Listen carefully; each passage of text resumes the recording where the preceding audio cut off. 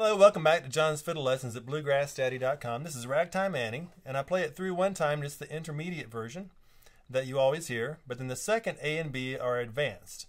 And so the first half of the A part is Johnny Gimble. The second half of the A part is from Byron Berline. And then the B part comes from Kenny Baker. So I hope you enjoy these lessons at BluegrassDaddy.com.